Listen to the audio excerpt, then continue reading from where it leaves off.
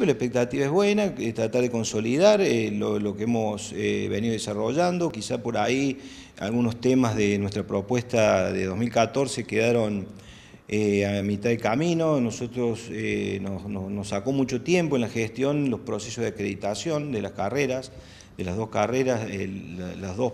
pasaron por la acreditación nacional y también intervenimos en el Mercosur y obtuvimos la la acreditación máxima que da la CONIAO en este sentido,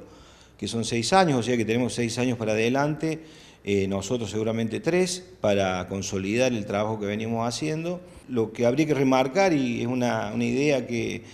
venimos desarrollando, es, darle una,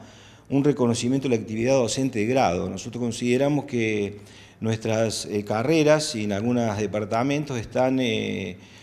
eh, muy absorbidos por lo que es docencia de grado y eso en lo que es la carrera docente por ahí no se refleja y concebimos nosotros que un poco la razón de ser de la universidad y de la facultad son los alumnos y, para que haya alumnos eh, bien formados y para lograr la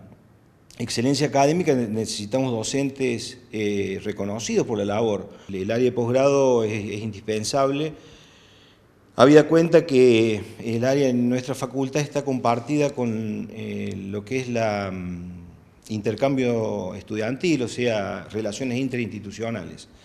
Eso ha hecho que por el tema de las acreditaciones sobre todo la acreditación a Mercosur se nos abra la posibilidad de hacer intercambios ahora estudiantiles. Es un área también que queremos consolidar eh, desde lo administrativo y ordenar también un poco eh, el, tema es en, en posgrado.